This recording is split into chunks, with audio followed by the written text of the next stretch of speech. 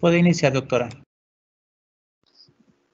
Muy buenas tardes. Eh, mi nombre es Olivia Gal, soy investigadora titular del Centro de Investigaciones Interdisciplinarias en Ciencias y Humanidades de la UNAM y tengo el gusto y el honor de moderar esta excelente mesa eh, con un panel absolutamente de lujo de ponentes y de comentaristas.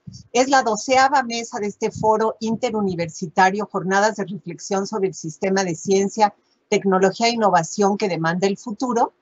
Y esta mesa, eh, el tema es importancia de la incorporación de una perspectiva de género en la gestión de la política de ciencia y tecnología.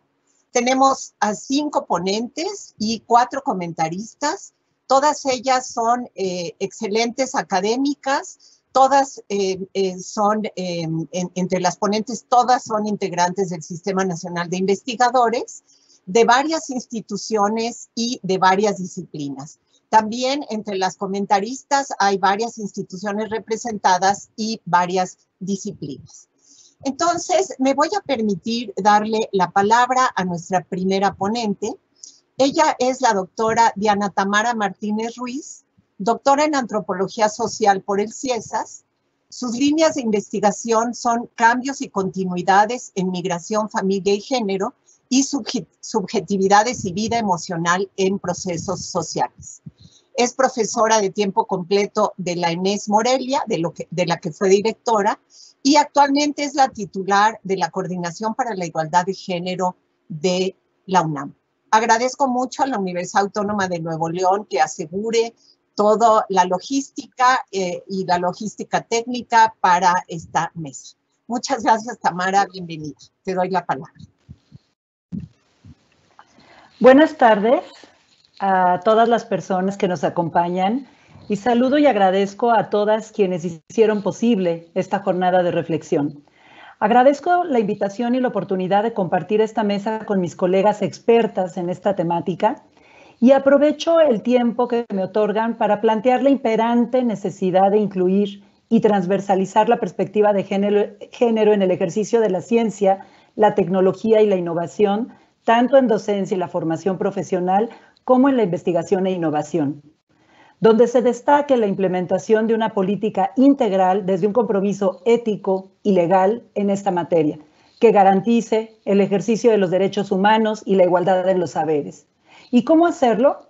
Incorporando criterios y mecanismos, procesos que sean ineludiblemente llevados a la práctica para lograr transformaciones concretas en la educación y en la producción del conocimiento, la innovación científica en sus formas de organización, participación e inclusión con una perspectiva de género y de igualdad.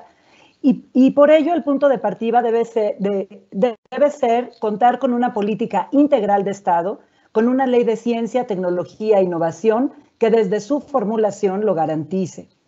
Las cifras nos indican tremendas brechas de desigualdad de género que se extienden en todas las formas de organización institucional y criterios para el desarrollo y transmisión del conocimiento, y que se acentúa en las áreas justamente de ciencia, tecnología, ingeniería, matemáticas.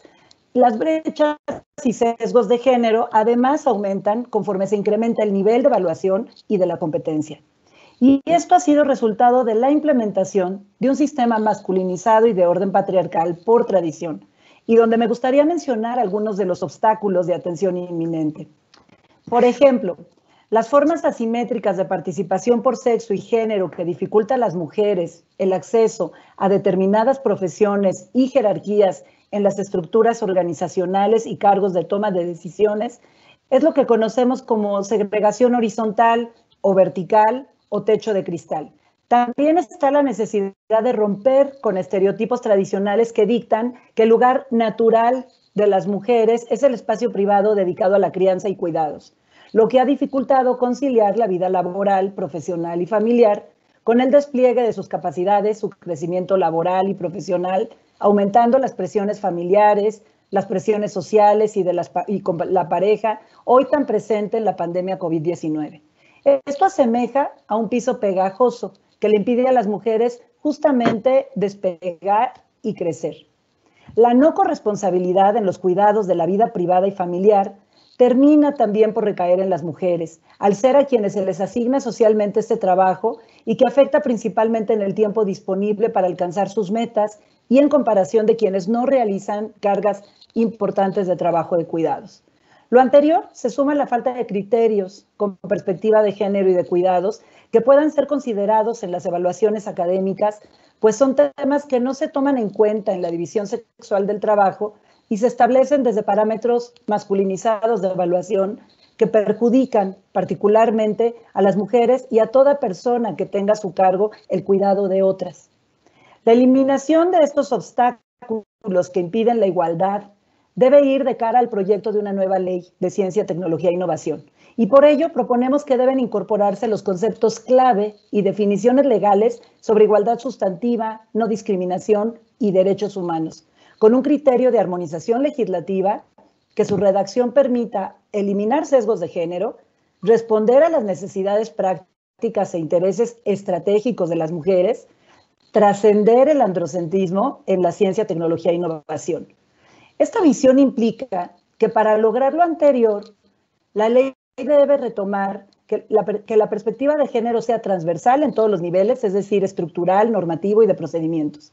Entonces proponemos visibilizar y reivindicar los avances y herramientas que ya se tienen en materia de derechos humanos e igualdad de género, marcos internacionales y nacionales, pues estos permitirán que al momento de poner en marcha una ley se desagreguen todos los componentes técnicos y operativos que nos permitan su materialización. Implementar procesos de transversalidad e institucionalización del enfoque de la igualdad de género en una formulación de agenda, en el diseño de políticas y estratégicas y estrategias, en su implementación, en seguimiento y por supuesto en su evaluación, que permee en las organizaciones de las estructuras e instituciones y que perdure en el tiempo con una clara mejora en la evaluación de resultados.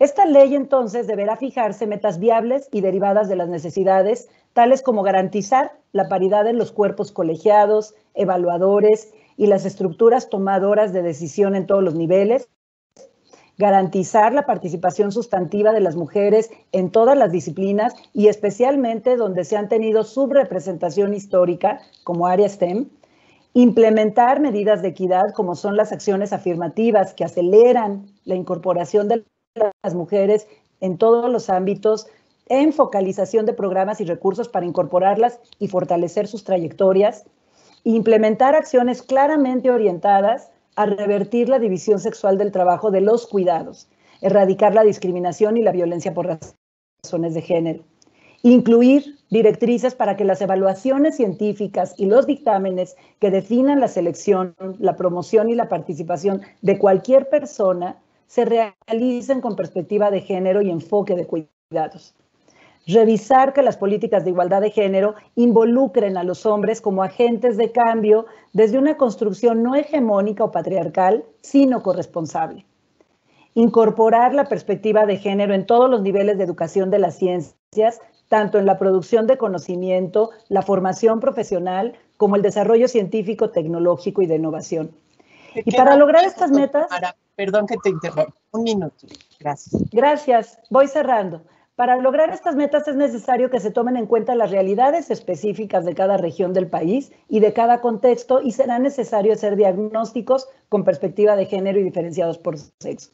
Termino resaltando que esta mesa de diálogo ya en sí es un evento histórico porque el tema de género ha permeado a tal nivel que hoy ya estamos proponiendo cómo incluirlo.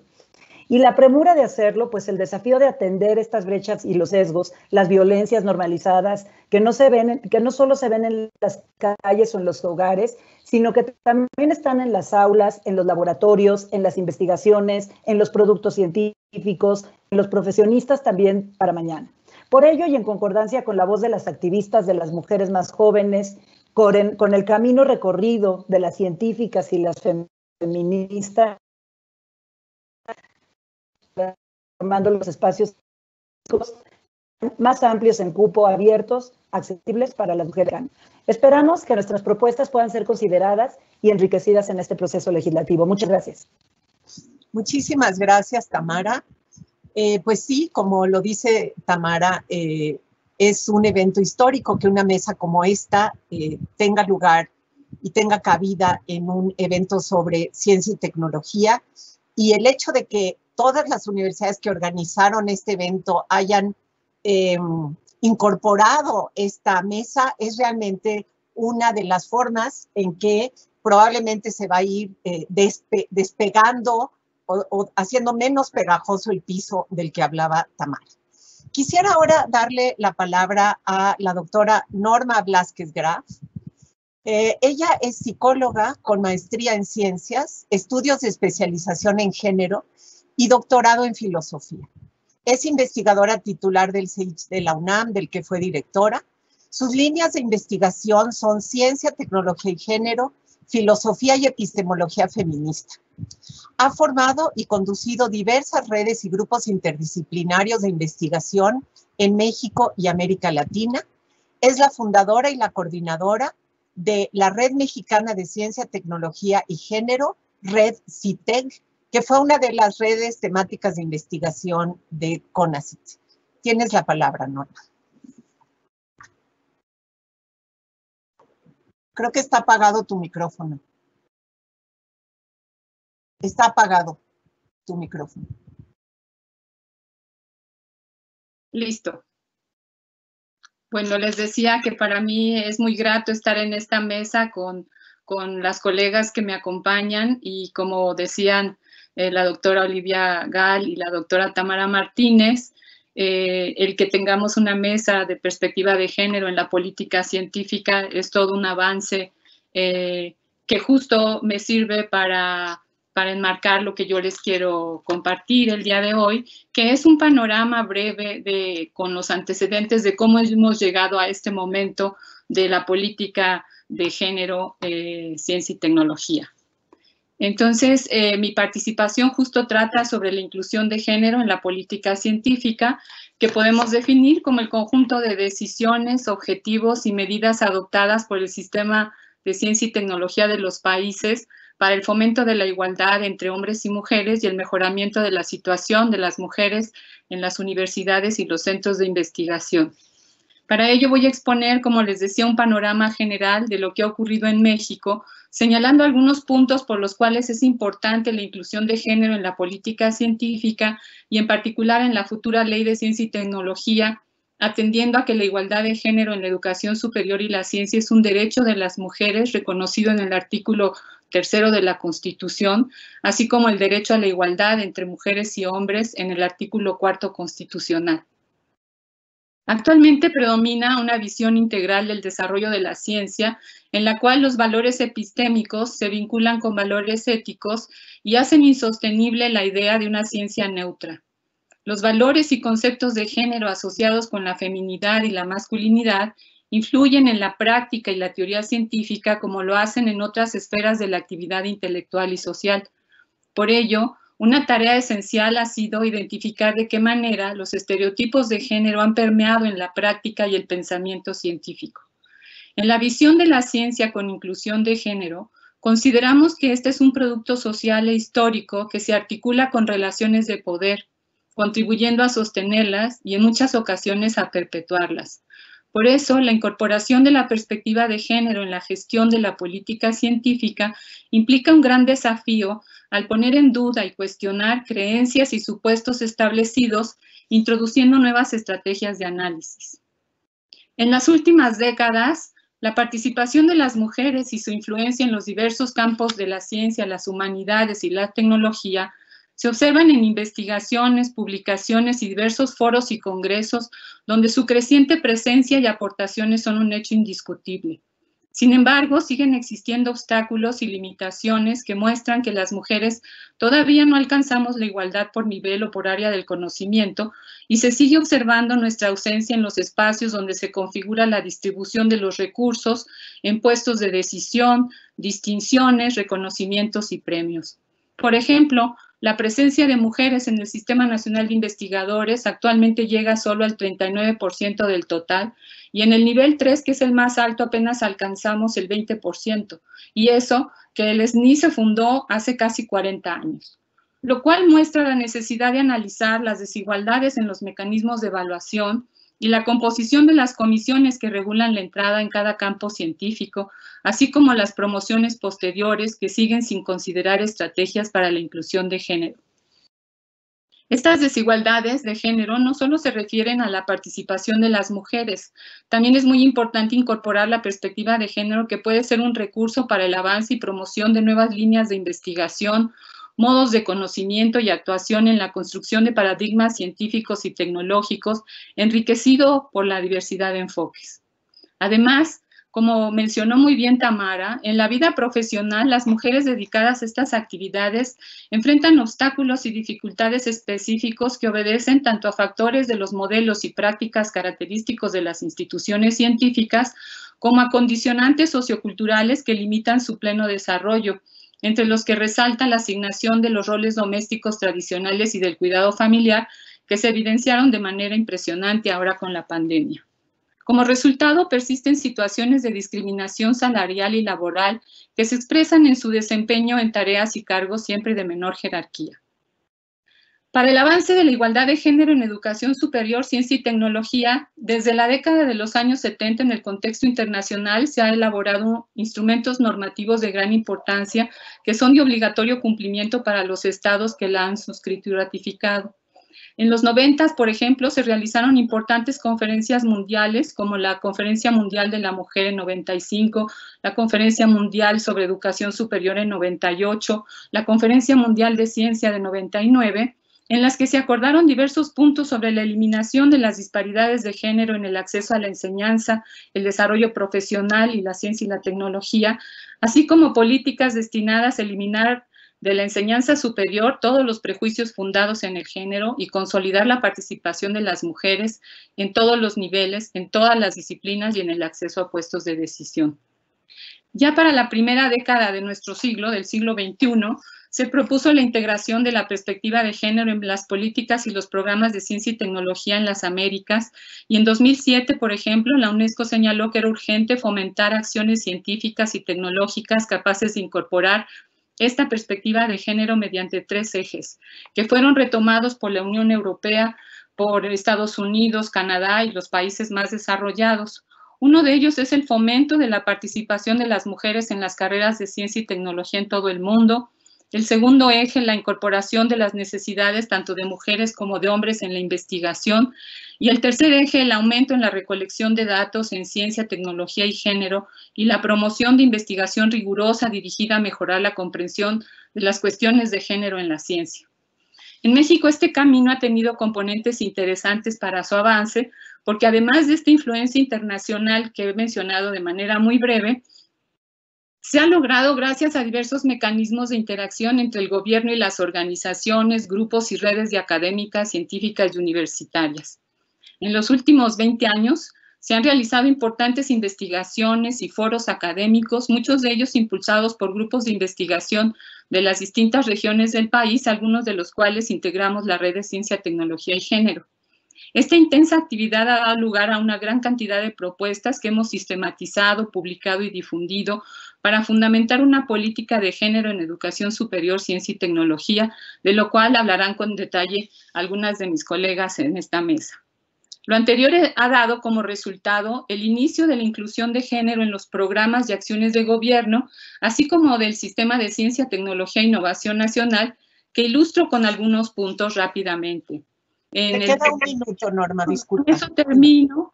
En el, se generó el Programa Nacional para la Igualdad de Oportunidades y la No Discriminación contra las Mujeres de 2013 a 2018. Eh, se generó el Programa Especial de Ciencia y Tecnología de 2014 a 2018 del CONACYT, que dan varios lineamientos como los que he mencionado, y finalmente, en 2013 se hicieron reformas a la Ley de Ciencia y Tecnología vigente, entre las que voy a destacar solamente el punto que me parece importantísimo, que fue el parteaguas, la inclusión de la perspectiva de género, así como una participación equitativa de mujeres y hombres en todos los ámbitos del Sistema Nacional de Ciencia, Tecnología e Innovación. A partir de este breve panorama, proponemos que a nivel de organismos de gobierno, universidades e instituciones de investigación, sociedades científicas, comunidades académicas y organizaciones no gubernamentales, se puede estimular cada vez más la participación de las mujeres mediante una política científica con igualdad de género que se consolide como política a largo plazo, generada por consenso e independientemente de las exigencias y los cambios de gobierno. Ello demanda modelos de comunicación, diálogo y gestión eficaces, así como la articulación con políticas educativas y científicas armonizadas con perspectiva de género a nivel nacional y de cada estado del país. Pensamos que el momento actual es una gran oportunidad para asegurar y continuar con los avances de inclusión de género presentes en la Ley de Ciencia y, Tecnología vigente y para impulsar una política nacional de género, ciencia, tecnología e innovación que explicite desafíos y resultados de forma permanente, con carácter progresivo y en sintonía con perspectivas e indicadores reconocidos y validados a nivel internacional y nacional, en los que se incluyan acciones afirmativas para las mujeres en todos los niveles, áreas del conocimiento y regiones del país que integran el sistema de ciencia, tecnología e innovación. Muchas gracias. Muchísimas gracias. Eh, pues aquí mis colegas saben que tengo que ser extremadamente estricta con el tiempo porque somos muchas. Les agradezco mucho a nuestras dos ponentes que hayan, se hayan ceñido de esta manera tan rigurosa al tiempo. Y pues como vieron, eh, la doctora Tamara y la doctora Norma, las dos nos marcan los problemas, los obstáculos, pero también todo el trabajo que se está, ha estado haciendo y las propuestas que ya están en el tapete para superar esos problemas y esos obstáculos. Le voy a dar la palabra ahora a la doctora Raquel Guereca Torres. Ella es doctora en Ciencias Políticas y Sociales con énfasis en Sociología por la UNAM, profesora investigadora de la UAM Lerma, responsable de los proyectos de investigación Género, Ciencia y Educación Superior, eh, dos puntos de los actores a las políticas públicas, y también el, proyecto Paridad de Género en Educación Superior y Ciencia. Ella también es integrante de la red CITEG y es la coordinadora de Bienestar Universitario y Género en la Rectoría de la UAM Lerma. Bienvenida, Raquel. Eh, pues tienes como tus compañeras ocho minutos. Sí, bueno, muchas gracias eh, por este espacio. Voy a, voy a iniciar y tratar de ser breve igual y ocupar un poquito menos para dejar eh, a la discusión, porque lo que voy a presentar se enlaza con eh, el panorama que han presentado eh, mis colegas, las colegas que me antecedieron, y voy a referirme tanto a la problemática que hay en torno a la desigualdad de género en la estructura de la ley vigente como en el anteproyecto de iniciativa de Ley General de Humanidades, Ciencias, Tecnologías e Innovación. Eh, donde podemos observar, por ejemplo, que en la estructura de la ley vigente, eh, pues tenemos básicamente 72 artículos distribuidos en 10 capítulos y ahí vamos a observar pues los avances que se han dado a partir del movimiento feminista, del movimiento de mujeres en la ciencia, por incorporar la perspectiva de género que posibilite avanzar eh, en la igualdad en este campo, pero eh, pues lo que podemos observar es un carácter denominativo de la perspectiva de género en la ley, ¿no? Aparece, por ejemplo, en la fracción octava del artículo segundo, en la fracción quinta del artículo 12, que establece como un principio la participación equilibrada y sin discriminación entre mujeres y hombres y el desarrollo de las nuevas generaciones de investigadores y tecnólogos, en fin, hay, eh, se habla de una incorporación y el lenguaje sigue siendo profundamente masculino.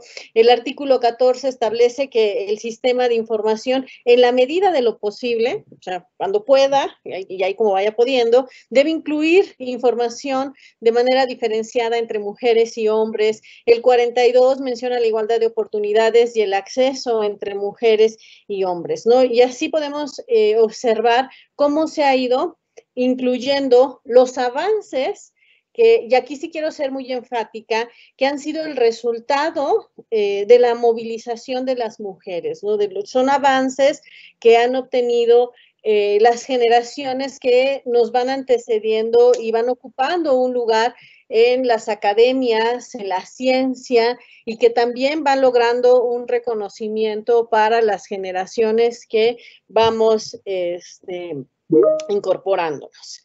Y bueno, eh, aquí eh, pues Una observación que yo puedo hacer a ambos, eh, ambos documentos, tanto a la ley vigente como al anteproyecto, es que ninguna de las dos incluye, por ejemplo, a ni mujeres como un mecanismo para el adelanto de las mujeres, ¿no? En el Consejo General tampoco eh, se incorpora el anexo 13 del presupuesto de egresos de la Federación cuando se habla este, pues, de la cuestión de los, de los recursos. En la promoción de la investigación científica nos establecen obligaciones en materia de derechos humanos eh, de las mujeres, ¿no? Que podría estar en el capítulo primero sobre las disposiciones eh, generales, ¿no? Y entonces eh, hay algo muy importante y que tiene que ver con esto que yo señalaba sobre cómo nos vamos incorporando las mujeres tanto a la educación en general, a la educación superior y por lo tanto al desarrollo científico y que tiene que ver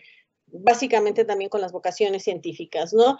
Eh, cuando hablamos de la diseminación de la información científica, tecnológica y la innovación, pues se deben difundir acciones a favor de la incorporación de las mujeres en la ciencia y tecnología y la perspectiva de género, y esto debe incluir el uso de imágenes asertivas e igualitarias de las mujeres y los hombres en los mensajes de difusión masiva para que con esto podamos también modificar los estereotipos de género y erradicar imágenes estereotipadas que impiden la construcción de relaciones igualitarias y diversas. También eh, incluir lenguaje incluyente y no sexista en los textos y las comunicaciones científicas, así como en todos los documentos eh, administrativos.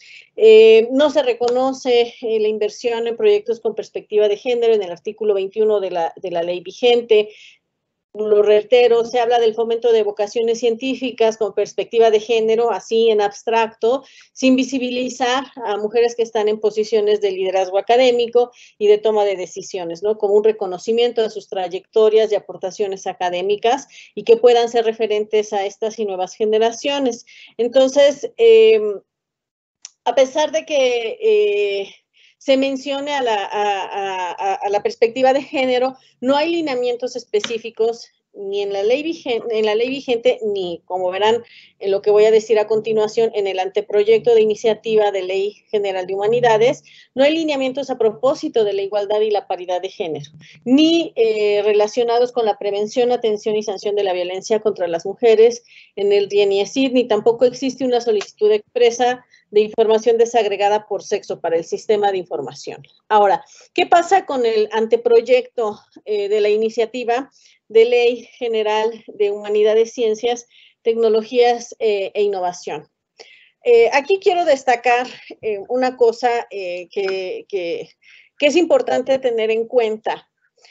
E, el anteproyecto tiene una estructura que mm, considero, que a mi parecer, nos orienta a tener ya una política científica eh, como una política de Estado. ¿Por qué? Porque algunos de los artículos, por ejemplo, el capítulo que hablaba, el artículo que hablaba sobre el sistema de información ya se convierte, tiene toda la estructura de un capítulo y le da toda, todo un marco. Así ocurre con muchos de los artículos que teníamos eh, un tanto sueltos y que no tenían especificaciones y mandatos muy, tan claros, ¿no? O sea, tiene ya una estructura que nos va a permitir orientar y tener, o sea, tiene toda, toda, todo el esqueleto para una política de Estado en materia de ciencia, tecnología, de humanidades, ciencia, tecnología e innovación.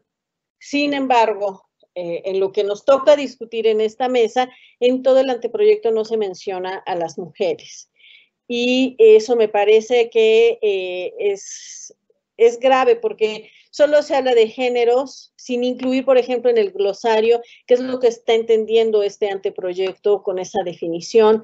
Se habla en abstracto de géneros, de igualdad de oportunidades para todas las personas en el artículo 51, eh, igualdad de oportunidades y acceso entre los géneros en el 97 y en el 116. Se usan, no se usan los términos sexo ni se usan mujeres y hombres para establecer una relación de desigualdad a erradicar. Entonces aquí el asunto no es decir, solo igualdad entre los géneros, o sea, es la igualdad entre hombres, mujeres, personas de la diversidad sexual. Si es acaso eso lo que queremos nombrar, hay que nombrarlo explícitamente y decir cuáles son las desigualdades que queremos eh, erradicar, ¿no? Y perdón, perdón, te queda un minuto, por favor. y la perspectiva de género está considerada solamente en 10 de los 128 artículos que conforman el anteproyecto. Y entonces, en este sentido, eh, hace falta y, se repite gravemente el problema denominativo que tiene nuestra ley vigente en un anteproyecto donde además va generando, eh, a mi modo de ver, mayores confusiones, ¿no? Porque la perspectiva de género requiere estar transversalmente y tener definidas claramente cuáles van a ser eh, los atributos que tendrá a lo largo de esta nueva normativa que se va a impulsar. Muchas gracias por su atención. Muchísimas gracias, Raquel. Eh, de veras, gracias a todas por ser tan, tan puntuales. Y bueno, como, Raquel lo dice tan claramente, no hay avances si no hay luchas. Nada es, regalado, y menos en estos temas eh, en los que la igualdad de género ha sido tan eh, detenida, ha sido tan obstaculizada por tantos años. Es muy importante este tema de qué pasa con la ley vigente y qué pasa con el anteproyecto de ley. Seguro van a empezar a fluir preguntas que también tienen que ver con lo que pasa con la, eh, la propuesta alternativa al anteproyecto de ley de CONACIT que presentó Prociencia y la red NACECIT. Si hay preguntas sobre esto, las haré pasar a ustedes, colegas. Y ahora le voy a dar la palabra a la doctora Em, María Elena Ramos. Ella es doctora en sociología, profesora e investigadora de la Universidad Autónoma de Nuevo León, integrante también de la red CITEC y del Cuerpo Académico Cultura, Identidades y Género y de la Red de Derechos Humanos y Migración eh, de CONACIT y también del Grupo Impulsor contra la Violencia hacia las Mujeres Alternativas Pacíficas del Consejo de Nuevo León. También es coordinadora del doctorado en Trabajo Social y Políticas Sociales. Créanme que todas nuestras panelistas y comentaristas tienen datos curriculares muy, muy amplios, pero esta es una muy pequeña muestra de lo que es cada una de ellas. Eh, María Elena, por favor, tienes la voz. Muy bien, déjame. Sí se escucha, ¿verdad? Sí. Perfecto. Bueno, pues eh, agradezco enormemente esta, este espacio que nos dieron para hacer algunas anotaciones y las reflexiones que voy a apuntar esta tarde parten de los resultados publicados en un libro que coordinamos mi colega Patricia García Guevara de la Universidad de Guadalajara y yo, en un libro que se tituló Género, Ciencia y Tecnología en las Políticas Públicas y en este texto se presenta el análisis de eh, varias entidades del país, como el caso de Jalisco, Nayarit, San Luis Potosí, Nuevo León, Puebla, así como de la Ciudad de México. Ahí lo que hicimos fue revisar las legislaciones y políticas públicas en ciencia y tecnología, así como las instituciones encargadas de impulsarlas, como las secretarías y los consejos estatales de ciencia y tecnología, las comisiones legislativas de diputados y diputadas estatales encargadas del tema, y en algunos casos se realizaron entrevistas a las y los funcionarios de estos organismos para evaluar la inclusión o no de la perspectiva de género. Por ello, eh, en este libro nos planteamos un doble objetivo. En primera instancia, que este ejercicio nos ayudara a evidenciar la importancia de la perspectiva de género en la política pública y por otro, analizar el desarrollo reciente de las legislaciones y las políticas públicas sobre ciencia tecnología y la perspectiva de género. Nos interesaba dar curso a preguntas sobre cómo son o no son gestionadas las políticas públicas provenientes del gobierno federal en los gobiernos estatales y si la política social con perspectiva de género está generando una participación más activa o inclusiva de las mujeres en la ciencia y tecnología. Y lo que encontramos es una gran heterogeneidad, tanto en las instituciones como en los avances de leyes o programas en ciencia y tecnología. Por ejemplo, en el caso de Jalisco y de la Ciudad de México existían secretarías de Estado de Ciencia y Tecnología, en tanto que en Puebla, San Luis Potosí y Nayarit solo se reportaba la figura de consejos y en el caso de Nuevo León solo una figura de un instituto. De estos casos, solo el Estado de Nuevo León no contaba con una comisión permanente en el Congreso estatal en materia de ciencia y tecnología y todas las demás entidades sí referían la existencia de esta comisión. En todos los casos se incluía el tema de ciencia y tecnología dentro del Plan Estatal de Desarrollo, sin embargo, en Puebla no existían programas específicamente dedicados a este rubro. Esta rápida revisión eh, nos permite decir que las diferencias establecen posibilidades de mayor o menor autonomía, de mayor o menor acceso a recursos humanos y financieros, y lo que es más importante, la mayor probabilidad de su continuidad o no. Ahora bien, respecto a la perspectiva de género, en Jalisco se concluye que la perspectiva de género ha sido incorporado lentamente y su transversalización es limitada. No se muestran proyectos con perspectiva de género en ciencia y tecnología acabados y los que hay a veces son desarticulados. Se señala que la perspectiva de género en la política pública en ciencia y tecnología estatal contraviene la reglamentación de CONACYT que estipula evaluar el diseño de fondos que llegan a las instituciones a desarrollar ciencia y tecnología con un carácter inclusivo de niñas, mujeres, jóvenes. Por su parte, en Nayarit se concluye que a partir de una presencia, de, una presencia las mujeres en la ciencia y tecnología, esta aún es escasa, que se carece de una armonización de la ley de ciencia, tecnología e innovación respecto a la ley federal con perspectiva de género y que las acciones de ciencia y tecnología han carecido de una visión vinculada a impulsar la participación de las mujeres pues las acciones llevadas a cabo son reactivas a las acciones federales y no a políticas públicas que consideren las condiciones locales de producción de ciencia y tecnología.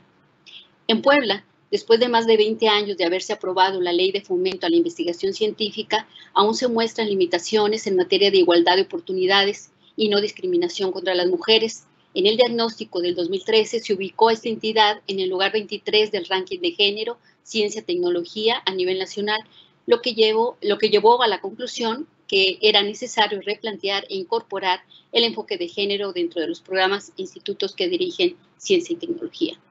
San Luis Potosí eh, fue señalado como una entidad que ha estado presente de manera temprana en las legislaciones de ciencia y tecnología en comparación con otros estados del país, particularmente en áreas como física, química y biología. También se impulsa las tecnologías vinculadas a la industria y a las empresas de la entidad sin embargo, no hay mención de las ciencias humanas en ningún plan, programa o ley y respecto a la, perspectiva de género, la inclusión se maneja a manera de rompecabezas, con acciones por un lado y propuestas por otro, sin poder ver el panorama completo y poder conectarlo. Aunque hay algunos elementos de inclusión y equidad, no hay vinculación con la ciencia, tecnología e innovación. Por último, en el caso de Nuevo León encontramos que ni las leyes de ciencia eh, leyes de ciencia ni en comisiones legislativas se hace referencia a programas específicos hacia mujeres, salvo el programa puntual de la I2T2, Mujeres en la Ciencia, que dicho sea de paso fue creado por la doctora Patricia Zambrano de la Universidad Autónoma de Nuevo León. El Plan Estatal de Desarrollo de Gobierno de Nuevo León del 2016-2021 obligaba la transversalización de género en los instrumentos de planeación de política pública en materia de empleo, educación, política, etcétera, y la promoción e igualdad de hombres y mujeres, la sensibilización relativa a derechos humanos y e igualdad y perspectiva de género, así de la idea de formar y capacitar al personal del servicio público. Tres objetivos son particularmente importantes. Uno, la asignación de recursos presupuestales con perspectiva de género en los distintos programas y actividades institucionales. Dos, generar información desagregada por sexo y construir indicadores que identifiquen las brechas de desigualdad entre hombres y mujeres. Y tres, asegurar la incorporación del enfoque de igualdad de género en los programas sectoriales, especiales y regionales derivados del Plan Estatal de Desarrollo y garantizar su debida evaluación a través de indicadores en la materia.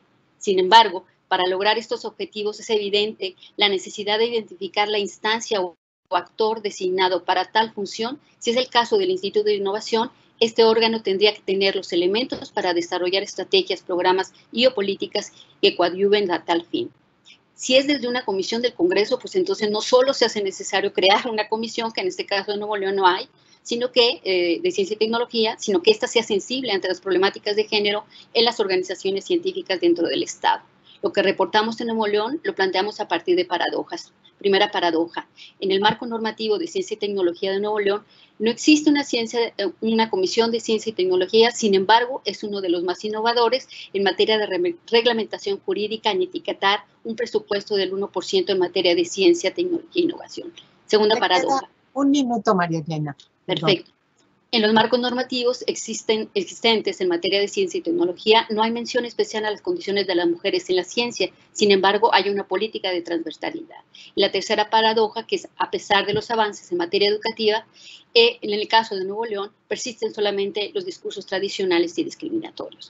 Para finalmente dar respuesta a la pregunta central de estas jornadas, ¿qué necesitamos para el futuro? Primero, creemos que, el ejercicio contenido en este libro nos permitió concluir sobre la necesidad de que las políticas para el desarrollo de la ciencia y tecnología con perspectiva de género se consoliden como políticas de Estado a largo plazo generados por consensos independientes de las exigencias y los cambios de gobierno. Dos, hacer una política transversal obliga a los funcionarios, a las funcionarias e instituciones a atender las diferencias de género, a construir indicadores, presupuestos diferenciados sensibles al género, capacitación y profesionalización de servidores públicos, monitoreo y evaluación. Tres, impulsar la ciencia y tecnología con perspectiva de género debe de ser un esfuerzo mayúsculo de instituciones educativas de todos los niveles, pero particularmente del sistema universitario y de posgrado. Finalmente, apostamos a la inclusión de una ciudadanía plena, como lo definen los uh, eh, holandeses Busken y Herben, que implican la igualdad de derechos igual que la, la, perdón, igual participación social e igual acceso a tomas de decisiones cualquier intento de integrar la perspectiva de género en las teorías dominantes del Estado no es simplemente una inclusión, principalmente un enfoque más susceptible de la posición de la mujer como tal, ni meramente una atención más sensible a, la dependencia de las mujeres de su cónyuges, por ejemplo, sino una explicación teórica de carácter de género de distintas formas de dependencia en relación con ciertos dominios sociales. Bueno, pues muchas gracias y fue muy apresurado, pero eh, seguramente hay más reflexiones adelante. Bueno, seguramente, este, muchas gracias María Elena. Van a poder ustedes desarrollar varias de sus ideas al rato cuando empecemos una conversación con el público. Eh, María Elena acaba de introducir una visión regional o estatal eh, de Nuevo León, pero también habló de Puebla. Y es muy importante que no solo veamos la visión federal, la visión eh, internacional que Norma también incluyó, sino que hablemos desde la mirada y desde los problemas de los estados. Y pues nuestra siguiente ponente, eh, la doctora María, Eugenia Guadarrama Olivera, también viene eh, de una de las entidades federativas de nuestro país, de Veracruz. Ella es doctora en Historia y Geografía, con énfasis en Antropología Cultural por la Universidad de Barcelona donde cursó el programa Mujeres y Sociedad. Es investigadora feminista en la Universidad Veracruzana, coordina el Centro de Estudios de Género y la Maestría en Estudios de Género, que es una maestría PNPC. Es asesora honorífica de la Dirección de Equidad y Género de la Universidad Autónoma Benito Juárez de Oaxaca, también del Programa Institucional de Igualdad de Género de la Universidad Autónoma de Yucatán y es integrante del Sistema Estatal para Prevenir, Atender, Sancionar y Erradicar la Violencia contra las mujeres. Así que nuestras ponentes no solo son académicas destacadas, sino también son luchadoras sociales y activistas en estos temas. Eh, tienes la palabra, Mario Eugenia.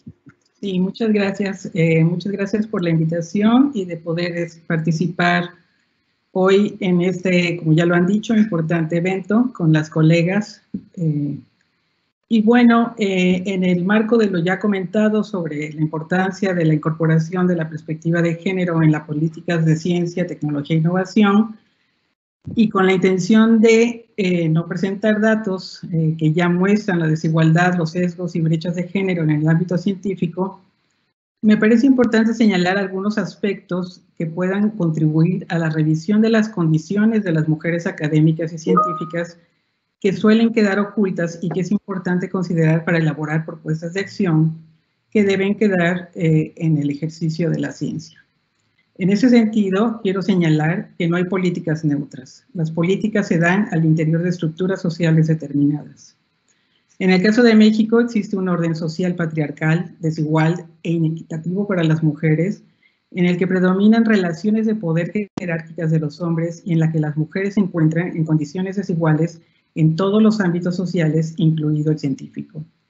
Ello significa que es indiscutible que un enorme porcentaje de mujeres académicas y científicas desarrollan sus actividades sin que se hayan logrado cambios sustanciales en las condiciones de desigualdad de género en tanto en sus ámbitos de acción laboral como en el ámbito doméstico, como ya lo comentaban anteriormente, donde socialmente siguen siendo consideradas responsables de las obligaciones que esta esfera implica y del trabajo de cuidado, incluido el cuidado de la salud de los y las integrantes del grupo familiar amplio. Las dobles y en ocasiones triples jornadas de las mujeres continúan. Está comprobado que en general las mujeres trabajan más horas a la semana que los hombres. De acuerdo a la Organización Internacional del Trabajo, las mujeres se encargan al menos dos veces y media más de las labores domésticas que los hombres y trabajan jornadas más largas que ellos cuando se consideran tanto el trabajo remunerado como el no remunerado. El asunto del uso del tiempo en el trabajo es un concepto que remite a la dimensión social del tiempo y permite entender la diferencial carga total de trabajo entre mujeres y hombres generada por las desigualdades de género. Eh, perdón, tengo aquí un problema.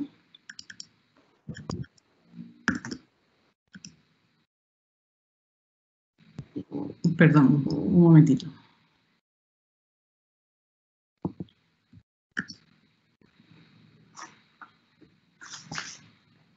siempre el internet nos juega. Sí, con calma, con calma, no hay problema. Em, eh, en ese sentido, eh, podemos decir que eh, este asunto del uso del tiempo, pues deja ver lo que ya se comentaba también sobre las desigualdades de género que propician estos estereotipos que han permitido la naturalización del hecho que los hombres dediquen mayor tiempo al trabajo remunerado y menos al trabajo doméstico y de cuidado, y en las mujeres sea al contrario. Así, muchas mujeres dedicadas a la docencia y a la investigación, a pesar de haber obtenido los más altos grados académicos e importantes categorías laborales, en su mayoría todavía deben responder, por un lado, a las obligaciones domésticas como únicas agentes de su realización y por otro lado, a las obligaciones que implica la denominada diversificación de funciones académicas, a los requisitos de los programas de evaluación externos e internos en sus instituciones y a las exigencias de las becas de estímulos a la producción académica.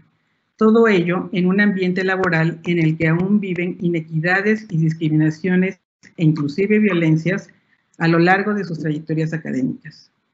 Y como ya se dijo, pues eh, estos meses de confinamiento por la pandemia COVID-19, pues ha hecho más patente estas desigualdades en la división sexual del trabajo doméstico. Por lo anterior, eh, es importante el tema de esta mesa, la necesidad de incorporar la perspectiva de género a la política científica para hacer patente las causas de las desigualdades de género que impactan negativamente a las mujeres en los ámbitos académico y científico. Con esta mirada se han realizado diferentes informes internacionales y nacionales que muestran la desigualdad de condiciones de las mujeres y hombres en el mundo científico, como es la menor participación de las mujeres en la, en la academia como responsables de grupos de investigación o bien como responsables de la consecución de recursos para el desarrollo de proyectos. Así también lo vemos en la existencia de pirámides jerárquicas en instituciones y organismos científicos, donde aún es patente que la ubicación de los hombres, de los hombres en los puestos de decisión mayor, con algunas excepciones. Dicho lo anterior, eh, me gustaría enfatizar que la incorporación de la perspectiva de género en la política científica no significa solo agregar la palabra género, sino que debe hacerse desde una postura feminista con perspectiva crítica que implique el interés, compromiso y aplicación de medidas, mecanismos y estrategias dirigidas a transformar las condiciones descritas anteriormente. En ese sentido, no solo se requiere de una paridad de mujeres y hombres en la ciencia, sino lograr una igualdad sustantiva que esté reflejada en las pautas culturales de las instituciones en las cuales se produce ciencia y tecnología que permita cambiar los factores estructurales que determinan la desigualdad entre hombres y mujeres en dichas instituciones. Por otro lado, también quiero señalar que debemos observar que la aplicación de las políticas científicas es diversa en los diferentes contextos regionales del país, como ya lo señalaba María Elena. Suele haber grandes diferencias entre las instituciones de investigación y educación superior, nacionales o federales y estatales, aunque en todas sigan existiendo brechas de género en la producción científica producida. Así podemos encontrar mayores dificultades para la aplicación de la perspectiva de género en políticas científicas de instituciones u organismos de investigación y educación superior ubicadas en los estados de la República Mexicana. Los datos proporcionados por el Observatorio Nacional para la Igualdad de Género en las instituciones de educación superior de la Red Nacional de Instituciones de Educación Superior Caminos para la Igualdad de Género, integrada por más de 50 universidades, dejan ver que las brechas y asimetrías de género eh, que aún existen en las políticas, estructuras, poblaciones y funciones institucionales son mayores en instituciones estatales. Por ello, es necesario contar con diagnósticos que permitan conocer las características de cada institución para conocer las condiciones de los investigadores y docentes y poder resolver las desigualdades de género para poder implementar las medidas necesarias para realizar cambios en las culturas institucionales.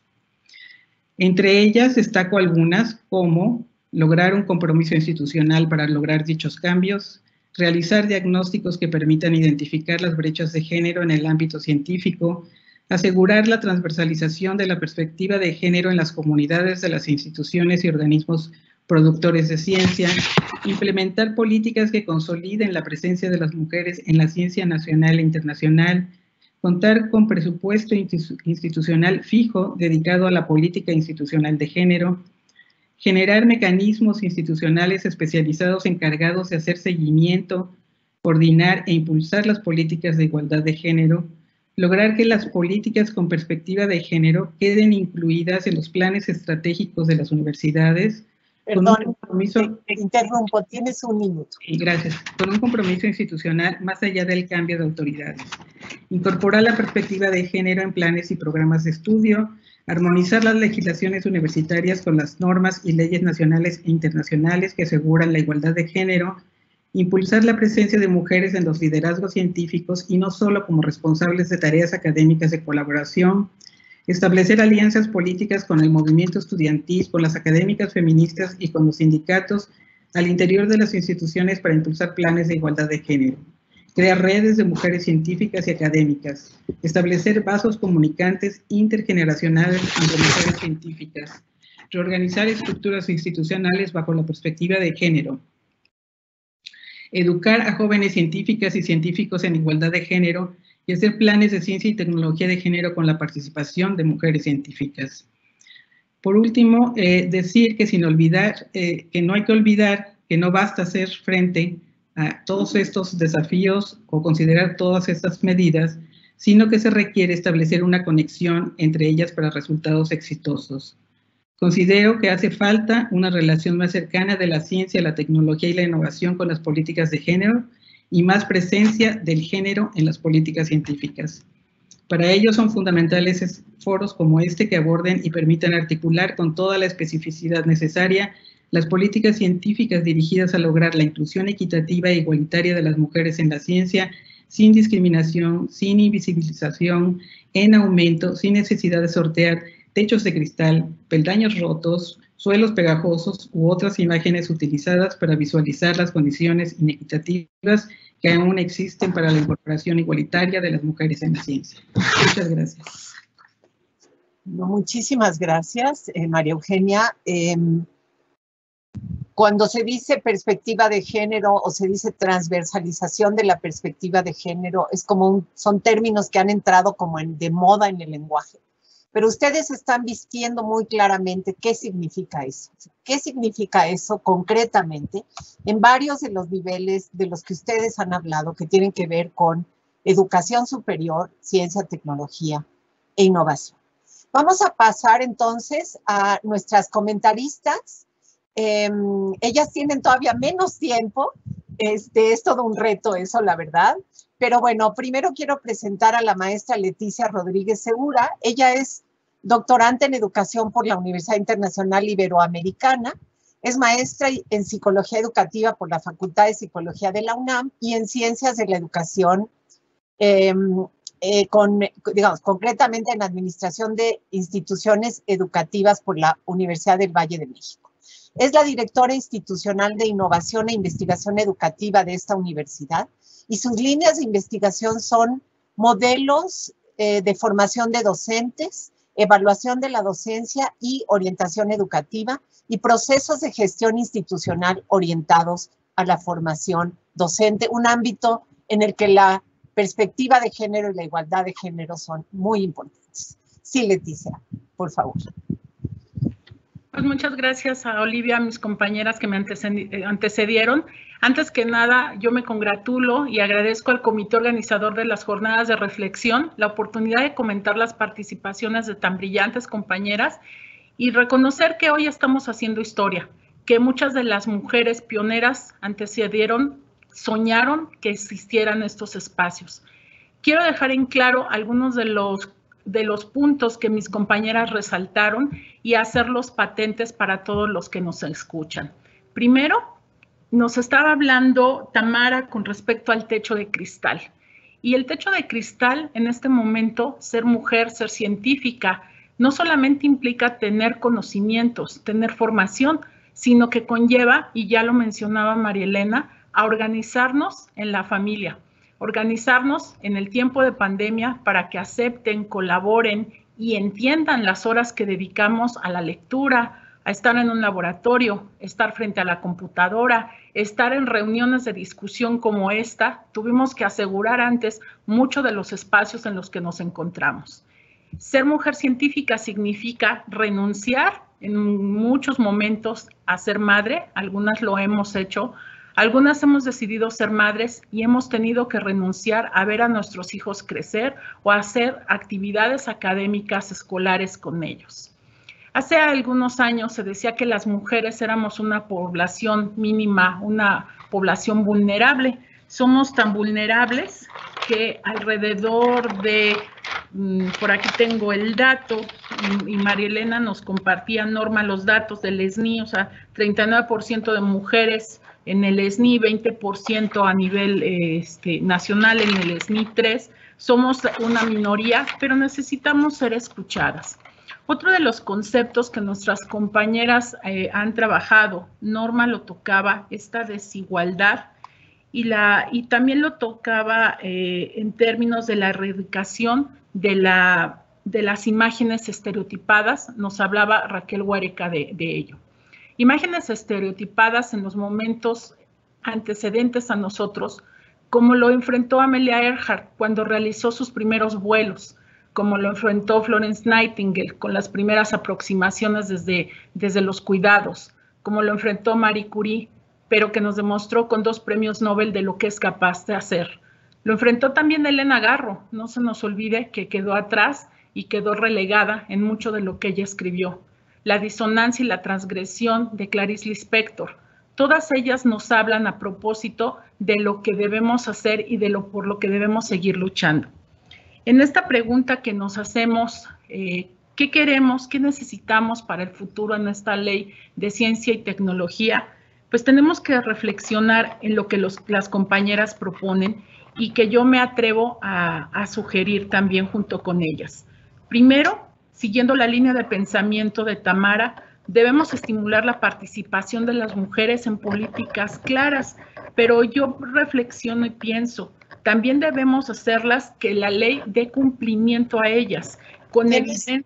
Leticia, tienes un minuto, por favor. Con, evidencias y que las instituciones deban de cumplir.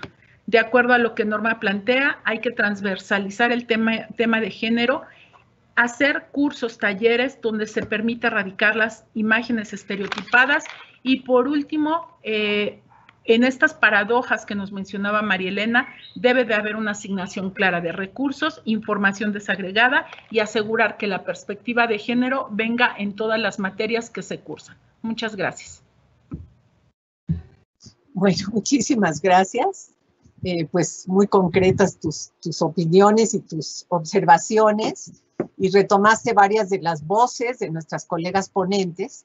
Eh, le voy a dar ahora la palabra a la doctora Sabine Mondier-Cusange. Ella es ingeniera industrial y de sistemas, es doctora en ciencias en control automático, profesora investigadora del Departamento de Control Automático del CIMBESTAB. También es miembro del SNI, como todas ustedes, eh, con un muy alto nivel en el SNI. Sus líneas de investigación incluyen los sistemas con retardos, el control robusto y sus aplicaciones en el ámbito de la tecnología y de la biología. Bienvenida, Sabine. Tu, tu micrófono.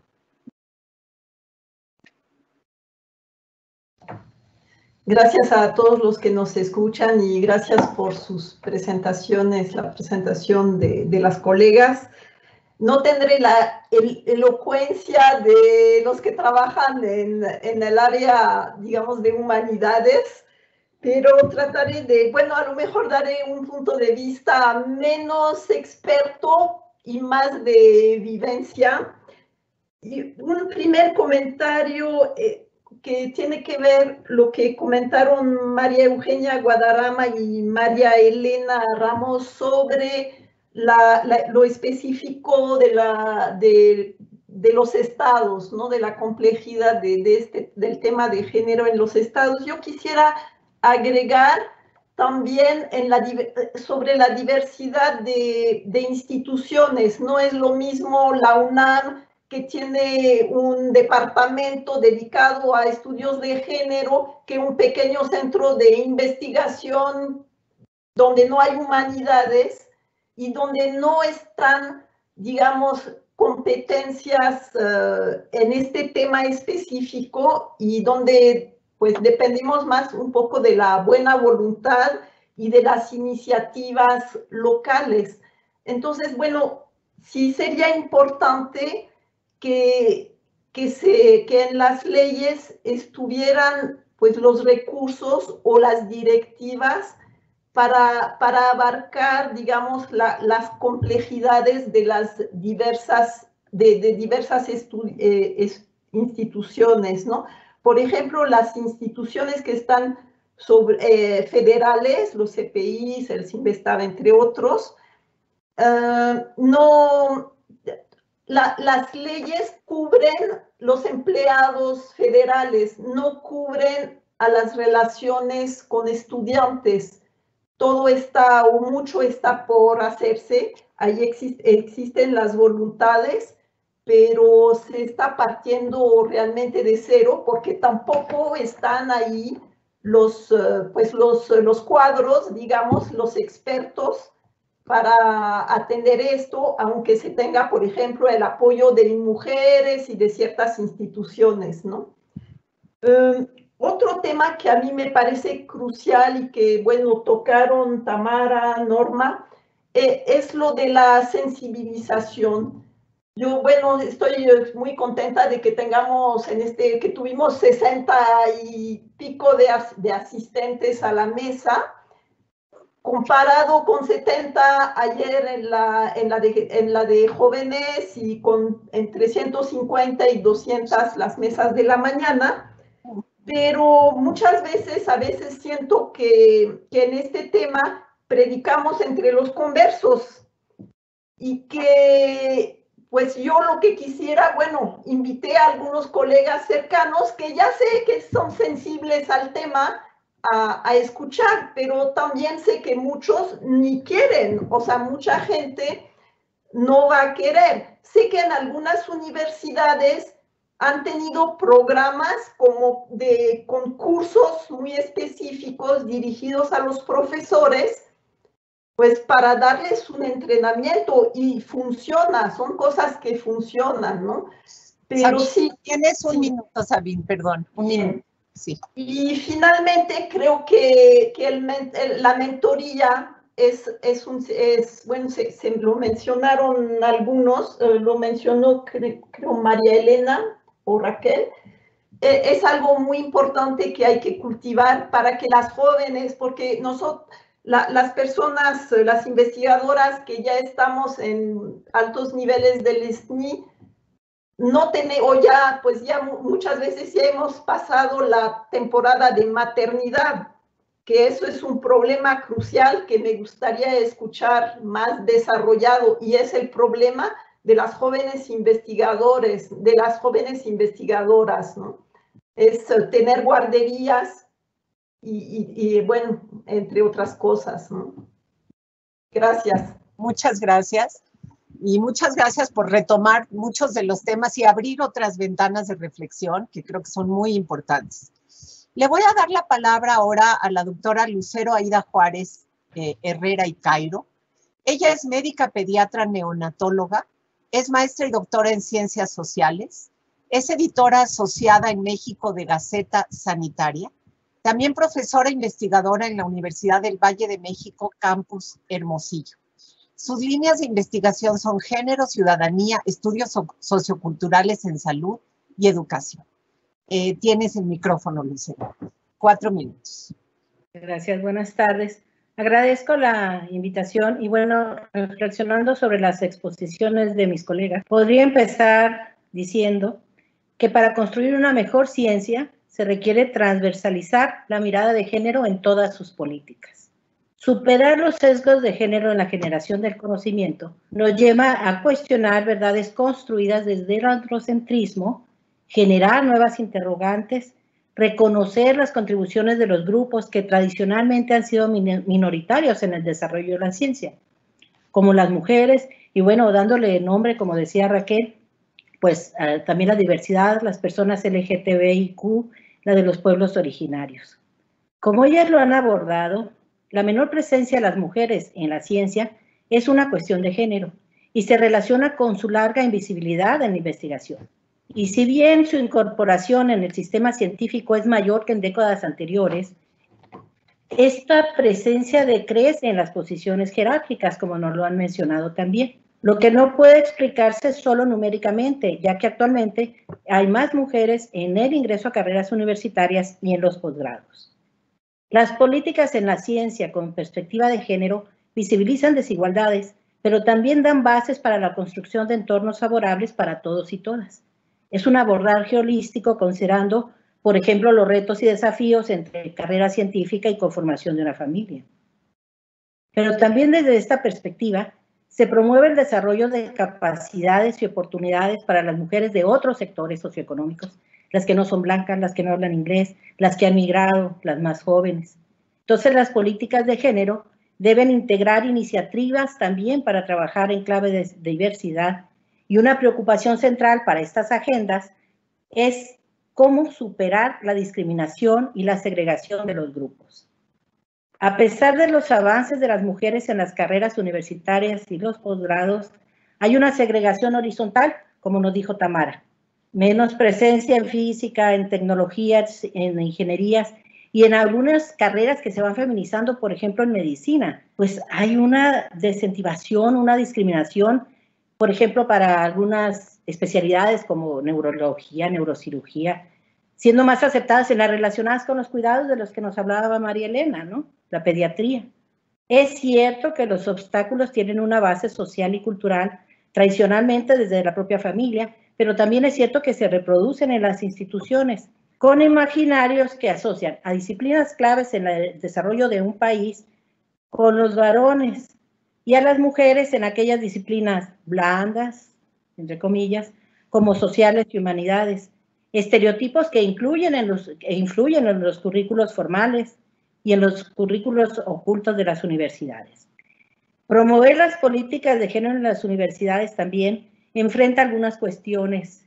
Por ejemplo, esta idea de que las cuestiones de género son cosas de mujeres. Yo me pregunto si por eso vemos puras mujeres en, el, en la mesa, ¿no? El que no se reconozcan los sesgos en la investigación y en la ciencia misma, por ejemplo, esta confusión entre los conceptos sexo y género, la necesidad de capacitar efectivamente al personal, como nos hablaban nuestras compañeras, y también la oposición a los cambios. Esto también se observa en las publicaciones científicas. Las revistas sin políticas de género reproducen el sexismo y el androcentrismo. Las mujeres están subrepresentadas ahí. Las políticas de género en la ciencia y en la formación universitaria introducen nuevos marcos interpretativos, trascienden en beneficios importantes para todas y todas. Tienen imperativos éticos y de derechos humanos, como se ha enfatizado en la mesa. Sin embargo, no basta con diseñarlas se requiere de voluntad política para que se hagan efectivas las iniciativas, porque de otra manera pues son letra muerta. Para responder a la pregunta... perdón, tienes un minuto, gracias. Okay. Para responder a la pregunta de cómo superar la segregación e integrar cada vez más a las personas de los grupos discriminados, hay que repensar las políticas en la ciencia, tecnología e innovación, incorporando la agenda de género y derechos, con estrategias específicas, leyes, normas e indicadores que permitan su evaluación. Es un trabajo multi y transdisciplinar, es intersectorial, no puede solo un sector, y en todos los niveles, locales, nacionales e internacionales. Muchas gracias por la oportunidad de acompañarles. Muchas, muchas gracias. Este, sin duda es muy enriquecedor, además de tener a todas las colegas de ciencias sociales, humanidades, filosofía, psicología, etcétera, tener a las colegas ingenieras, eh, médicas eh, y ahora vamos a tener eh, también a una comunicóloga que tiene, entre otras especialidades, esta. Entonces, le voy a dar la palabra a la doctora Erika Loyo Beristain, nuestra última comentarista de hoy. Ella es licenciada en Ciencias de la Comunicación, maestra y doctora en Ciencias Sociales por la Universidad de Guadalajara. Es especialista en personas generadoras de violencia y sistemas de cuidado. Es titular de la, Unidad para la Igualdad de Género de la UDG. Eh, tienes, Erika, la palabra. Muchas gracias. Eh, agradezco esta, esta invitación y el gran honor de estar aquí conversando con, con todas ustedes, a quienes admiro desde hace muchos años. Em, para no ser repetitiva y no profundizar sobre muchas de las cosas que ya mencionaron mis colegas y compañeras, Em, haría un par de observaciones nada más, incluso ajustándose, ajustándome al tiempo. Eh, para mí fue muy relevante el aporte analítico de la doctora, de todas ustedes, pero partiría del de la doctora Raquel, porque me parece que el análisis que hace entre la ley vigente y el anteproyecto es muy relevante desde la propia perspectiva de anular la presencia de las mujeres y dejar claro que desde que no estamos y desde que solamente hay 10 artículos de 128 en donde hablan sobre la perspectiva de género, pues eh, ahí hay una política de Estado que eh, no está considerando eh, ni siquiera la presencia, acción, producción de las propias mujeres, ¿no? Partiendo de esto, creo que las demás doctoras nos han ayudado a hacer una constelación muy relevante sobre cómo podríamos en este proyecto o anteproyecto o en el nuevo proyecto que tengamos que proponer o trabajar o, involucrarnos, eh, incorporar la perspectiva de género, la perspectiva de cuidados, incorporar, yo diría más, más bien también los enfoques, enfoque de género, enfoque de derechos humanos, enfoque de cuidados. Y algo que me parece muy relevante y que acaban de mencionar también las dos comentaristas que me antecedieron, un enfoque de masculinidad positiva porque tampoco podemos pensar que eh, sigamos nosotras ah, haciendo generando esta lucha sin que los propios hombres eh, hagan un cambio ¿no? en, en, su propia masculinidad, en su propio androcentrismo y, en los propios sesgos que, ellos han provocado. Valdría la pena quizá considerar eh, este tema porque también esto tendría que focalizarse sobre una perspectiva de eh, interseccionalidad de la que mucho se ha estado también hablando aquí, eh, sobre todo en la diferenciación de los estados, de las diferentes universidades o centros universitarios, que me parece importante considerar, así como también de las diferentes condiciones a partir de las cuales las mujeres que estamos en la academia y en la ciencia podemos crear eh, recordemos que el enfoque de cuidado no solamente tiene que ver con la infancia, sino que también tiene que ver con los adultos mayores, con las personas adultas mayores y con las personas que tienen alguna discapacidad. Eh, y muchas de las mujeres que trabajamos en la ciencia y en la academia eh, estamos incluidas dentro de estos amplios enfoques. Entonces, me parece que esta parte es muy relevante. Algo que también eh, rescato es esto que se mencionó también, como no solamente se trata de romper techos de cristal, porque luego los, vidrios nos caen encima, sino también eh, cómo construir escaleras, eh, este llamado de las escaleras rotas, cómo construir escaleras para irlas subiendo, despegándonos de, esos pisos pegajosos.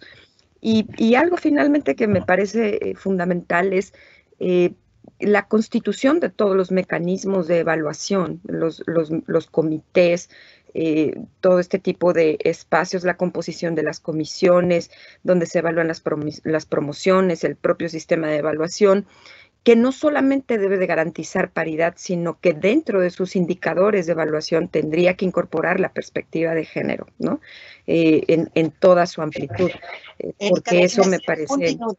Sí, gracias, porque eso me parece muy, muy relevante para poder ir eliminando eh, los sesgos desde adentro. Finalmente, yo creo que partiendo de, estos análisis que son muy relevantes, podríamos entonces no solo hablar de una política de Estado tan básica como la que se está planteando, tan androcentrista, sino de la reconstrucción y conformación de una política de Estado en ciencia y tecnología e innovación que pudiese no solo incorporar estos elementos que acabamos de mencionar y que no quiero ser reiterativa, sino que también se incorpora el diseño de políticas públicas, presupuestos específicos, planes de desarrollo y también el anexo 13 eh, del presupuesto de la federación, que es tan relevante y que ni siquiera eh, incluye la participación de las mujeres en la ciencia, la academia, la innovación y la tecnología. Eh, muchísimas gracias por, por este espacio. Pues muchísimas gracias, Erika, y muchas gracias a todas. Creo que ha sido realmente muy interesante. Tenemos un poco más de media hora para responder preguntas del público. Ya tenemos algunas preguntas eh, aquí en, frente de nuestros ojos. Y bueno, voy a tratar de eh, reunir eh, primero un grupo de preguntas que tienen que ver con la ley. Hay una pregunta que es de hecho la última que, nos han planteado, pero la voy a leer primero, que dice, ¿qué debería decir una ley para fortalecer la presencia de mujeres en la investigación? Pero esa pregunta que, plantea esto eh, como interrogante está ligada a otras preguntas y les pido a, a ustedes, las ponentes, primero que eh, traten de reflexionar sobre estas preguntas agrupándolas, como lo voy a hacer, y después tomar, les daré la palabra para responder. Em, eh, esta pregunta está ligada a, a otros que son como comentarios. Uno de los comentarios, o dos de ellos, dicen que ya se incorporó una perspectiva de género en la propuesta de ley de Prociencia y la red NACECIT que fue presentada ante el Senado hace unos días por el senador Galarza, que no es una propuesta de movimiento ciudadano, hay que aclarar, es una propuesta de Prociencia y la Red Nacecit que él presentó para que pueda ser discutida cuando ya se ingrese la otra propuesta oficial. Eh, pero dice este comentario, ya se incorpora una perspectiva de género que supera ampliamente el lenguaje inclusivo e incorpora acciones afirmativas. Y eh, de hecho se dice, ya se incluyeron principios como inclusión, pluralidad, no discriminación, igualdad de género. Eh, y por ejemplo, bueno, hay otros, pero eh, en los temas que nos tocan, paridad. Entonces, ¿qué opinan ustedes de, de, esto? ¿Qué se requeriría y este, qué hay en este momento, tanto en la ley vigente como en la anteproyecto de ley, como en la propuesta alternativa de ley que, que, que, que, ya, se, ya fue presentada. Entonces, eh, si quieren, eh, levanten por favor para mí eh, la mano las que quieran responder a estas preguntas unidas y les, les voy dando la palabra. a ver, Norma Blasquez. y después Raquel, sí. Está apagado tu micrófono, Norma. Yo creo que esta pregunta es muy relevante y me encanta que la hayan hecho porque así podemos ampliar el, tema. Eh, justamente la propuesta que hace la red Prociencia con la red NACESI eh, convocó en varios reuniones y conversatorios a muchos grupos y ahí estuvimos la Red de Ciencia, Tecnología y Género haciendo algunas de nuestras propuestas. Y después hubo una reunión, y Tamara, que está aquí, tuvimos una reunión también en la UNAM con la Coordinación de Igualdad de Género y se hizo un trabajo bien bonito, bien interesante para que quienes estamos, hemos estado trabajando en el tema pudiéramos contribuir con algunos puntos. Eh, por eso me parece que sí, que sí, en esta propuesta incluye varios eh, principios y acciones que sí son acciones afirmativas. Y lo que habíamos discutido, y me parece muy importante decirlo a quienes comparten con nosotros esta mesa, es que justamente si, la, si, si esta iniciativa no se considera en su totalidad, por lo menos que estas eh, puntuaciones sí se consideren en la, en la nueva propuesta de ley, porque son, eh, como hemos dicho, todas las que hemos estado aquí en la mesa, propuestas que llevan mucho tiempo de trabajo, mucho tiempo de investigación, que ya están muy elaboradas y que se podrían incluir en cualquier ley que se presente ahora. Yo por eso insistí mucho en que hay todos antecedentes importantes internacionales y nacionales que habría que considerar para, no partimos de cero, partimos de mucho trabajo que se ha hecho en los últimos 20 años y que precisamente con estas aportaciones se podría incorporar y perfeccionar muy bien una ley, como dijeron algunas, de Estado, más allá incluso de la propia ley de ahorita, que trascienda gobiernos y que tenga una política a más largo plazo en la que especifiquen muchas otras cosas como elaborar diagnósticos, hacer seguimientos, y esto lleva tiempo, no es de un solo día. Entonces, lo que se pueda avanzar sería maravilloso, pensando que es perfectible y que se puede ir mejorando cada vez. Bueno, muchas gracias, Norma. Raquel.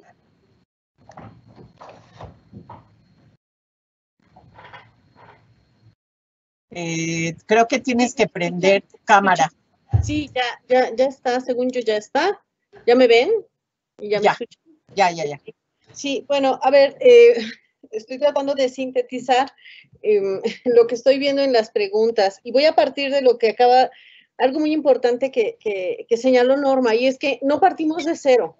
Y el no partimos de cero no, no solamente tiene que ver con la historia, tiene que ver que cuando hablamos de perspectiva de género, estamos hablando de todo un, desarrollo teórico y epistemológico que ha sido desarrollado por las teorías feministas, ¿no? Y eso, eso implica que no es solamente una cuestión de poner las palabras, por eso yo era muy puntual, no es solamente de que si está en 10 artículos o si está en todos los artículos ponemos género, ay, entonces ya tenemos una ley con perspectiva de género. No, no, eh, género es una categoría analítica para entender cómo están las desigualdades. Y entonces, una cosa es transversalizar, hacer que, esté atravesada la política científica de tal manera que podamos avanzar hacia la igualdad de género. Y para lograr la igualdad de género requerimos modelos de equidad y de paridad, que son dos cosas diferentes. La paridad tiene que ver con la representación, con cómo estamos en los puestos de toma de decisión en las instituciones científicas,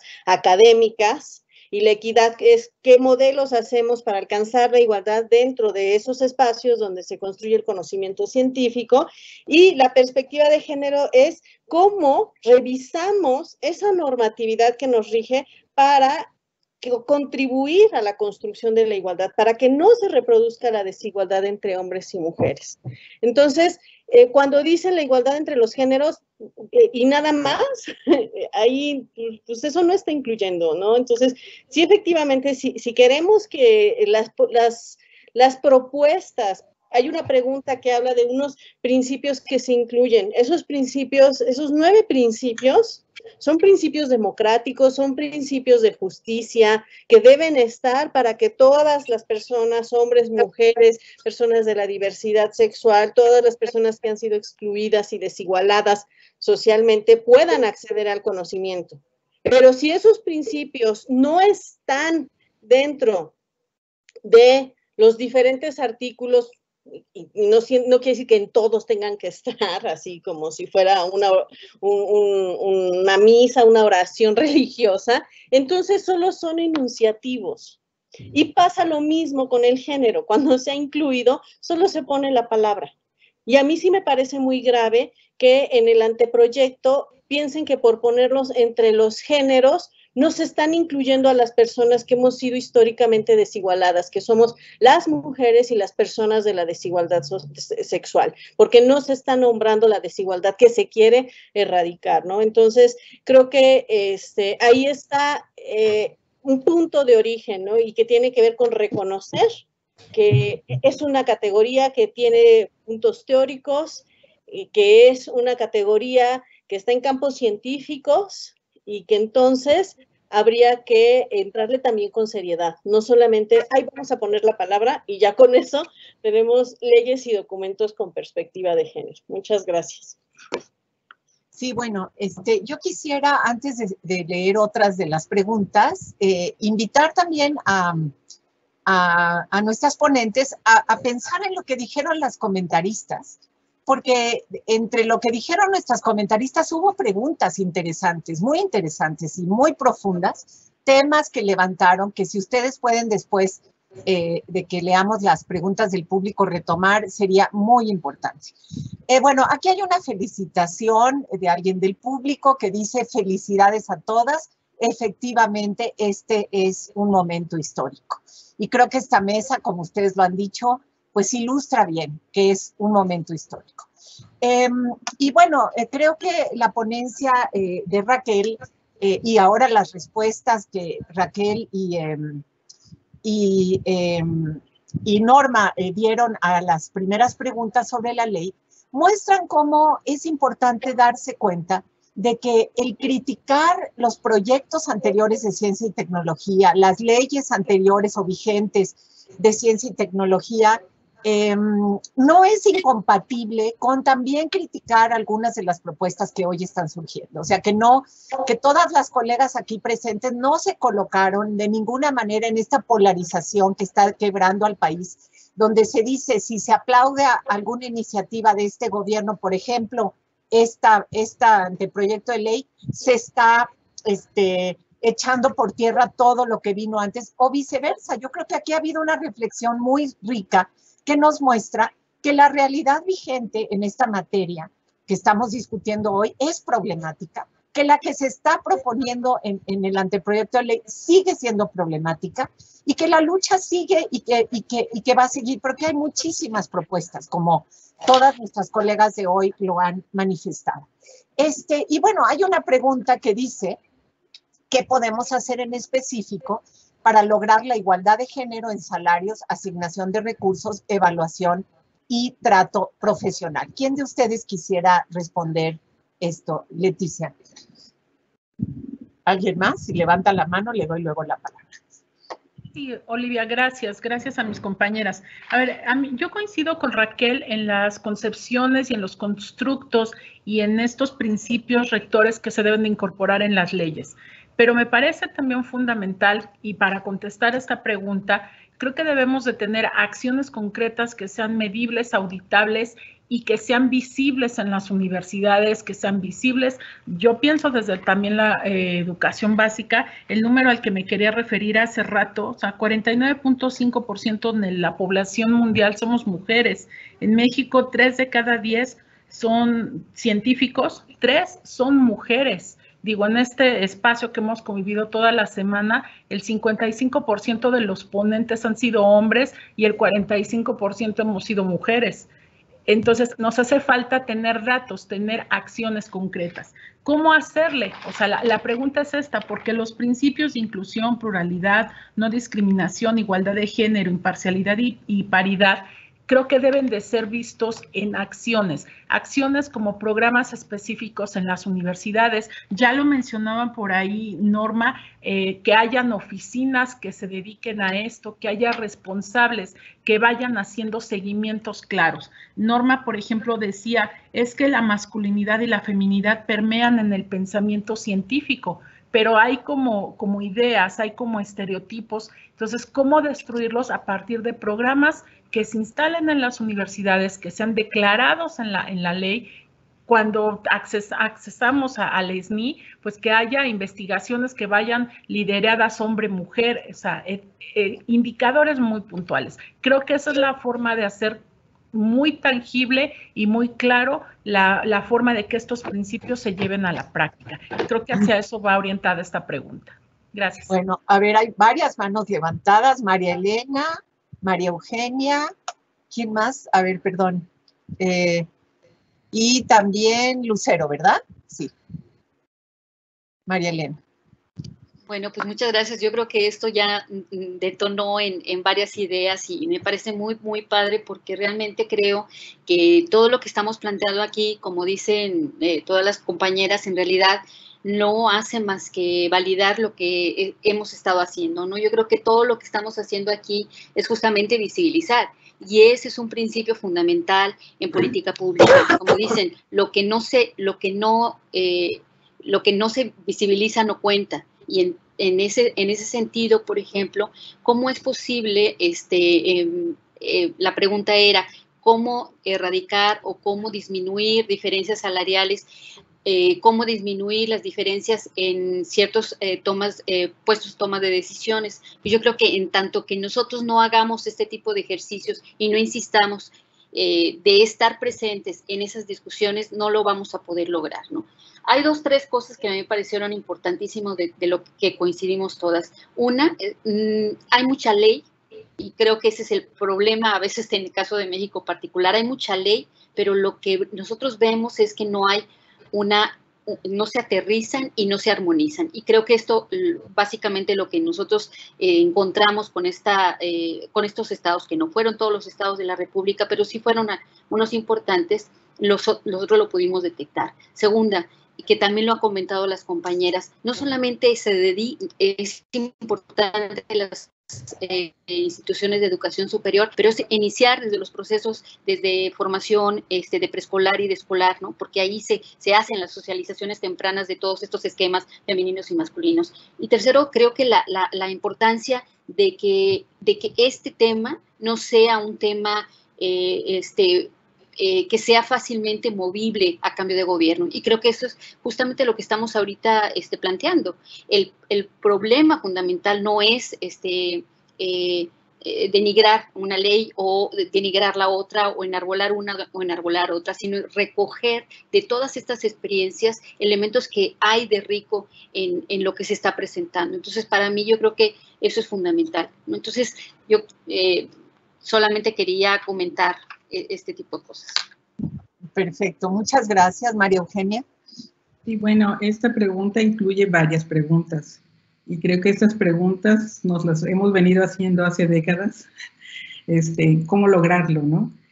Y a veces cuando estoy en clase con estudiantes eh, y les comento hace 40 años o hace, ¿no? Eh, pensaba que dentro de 40 años probablemente hubiéramos encontrado las respuestas a estas, a estas preguntas. Y no es así. Eh, pero creo que una de las formas que eh, me parecen importantes son em, construir estos espacios de, yo le llamaría de formación-reflexión, ¿no? Eh, porque exactamente como dicen algunas de las colegas, tenemos muchas leyes, ¿no? Ya tenemos leyes, tenemos firmados, muchos eh, convenios, muchos tratados como país, etcétera. Y eh, sobre todo, probablemente también hablo mucho desde la experiencia de un Estado ¿no? Eh, en el que la aplicación de ciertas leyes pues ha tardado mucho más. yo pensaba escuchando, por ejemplo, cuando surgieron los primeros centros o programas en la Ciudad de México, Pasaron 33 años para que se creara el Centro de Estudios de Género en la Universidad Veracruzana. Y, y, recuerdo muy bien el momento de la fundación, recuerdo una frase que decía, bueno, que se funde, pero que no nos cueste. Entonces, esto habla de esas contradicciones entre la cuestión de las leyes, ¿no? de, de, que existan las leyes y que haya esta eh, real, este, eh, ¿cómo decirlo? Como asumir esta perspectiva de género, eh, donde no sea solamente como una moda o un deber ser en los planes o proyectos estratégicos de las instituciones, ¿no? porque entonces ya es correctamente político poner que uno de los objetivos está la palabra género. Entonces, eh, sí me parece importante, eh, y con eso concluyo, la cuestión de, no solamente mencionarlo así como la sensibilización, sino es una cuestión de formación, reflexión, para dar la oportunidad o darnos la oportunidad de tener estos espacios para realizar los cambios profundos que requieren para lograr algunas transformaciones. Muchas gracias, María Eugenia. Este, Lucero, por favor. Sí, gracias. Bueno, reflexionando y diciéndoles que recibí algunas preguntas de, estudiantes, me dicen, bueno, ¿y, qué programas hay en las universidades sobre género, por ejemplo, hablando de formación universitaria? Bueno, hicimos una revisión narrativa sobre qué es lo que se ha incorporado en México para el análisis sexo-género en la educación médica. Y encontramos que, bueno, se habla de género generalmente en posgrados ya, pero no hay una transversalización en la educación, cuando menos en medicina, de género. ¿Qué es género? Y, en y aquellas universidades que sí lo han implementado, enfrentan también obstáculos.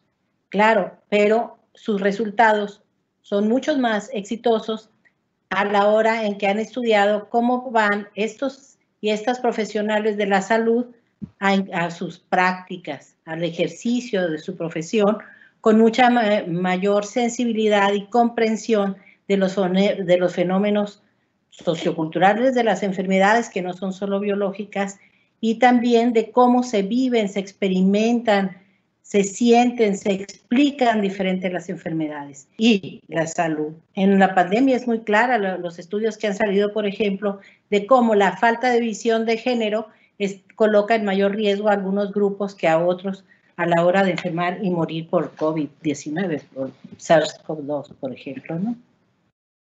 Sí.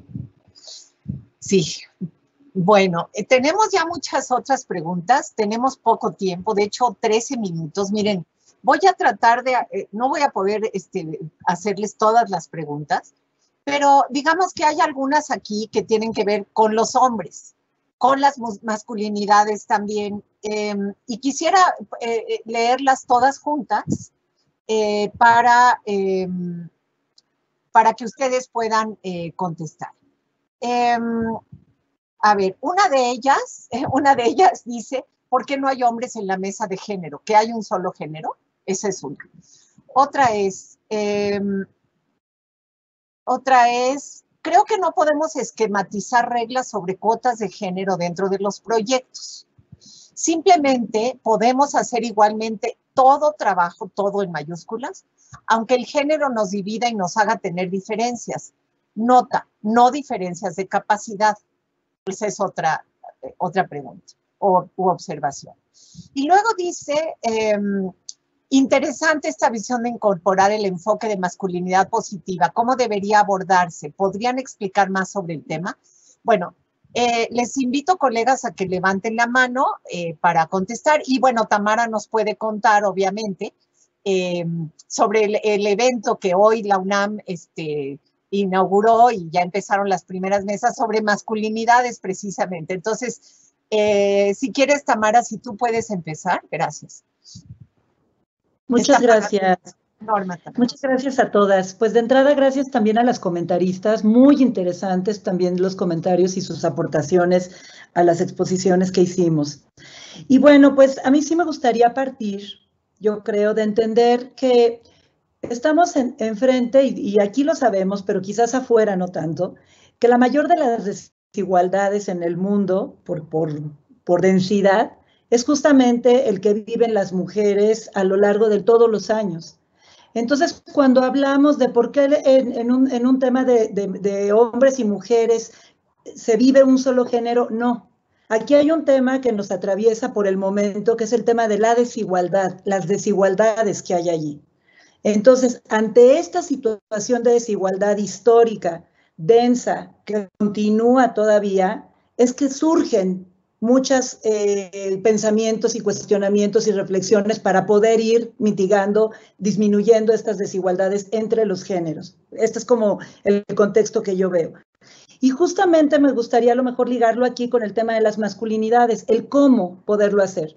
Yo creo que tenemos en efecto que partir de esto que estamos hablando, la sensibilidad y la sensibilización de, qué es justamente la, diferencia de géneros y por qué la importancia de incluir a las mujeres en esto y que lo que partimos o el elemento crucial es el tema de desigualdades. Y en este sentido, eh, los compañeros hombres, creo que es importante, y también las mujeres, que, que comprendamos que estamos en un orden eh, hetero, patriarcal, en un orden eh, androcéntrico, y que fuimos constituidos, igual que nuestras instituciones, desde, unos, desde órdenes de solamente una visión y que quedó disminuida la otra visión. ¿Qué es hablar de masculinidades positivas y qué es hablar y cómo incluir a los compañeros hombres en estas eh, reflexiones y en estos debates, justamente partiendo de otra mirada y de poder hay todo un debate si deconstruimos o no se deconstruye la masculinidad, pero sí buscamos deconstruir esta lógica patriarcal o heteropatriarcal en hombres y mujeres que nos permitan construir instituciones también, en este caso universitarias y científicas, distintas, más igualitarias en ese sentido, y que, y que además empecemos a ver con indicadores claramente esa disminución de las desigualdades y de las brechas y de los sesgos de los que estamos hablando. Y con indicadores es también con números y también con estas participaciones.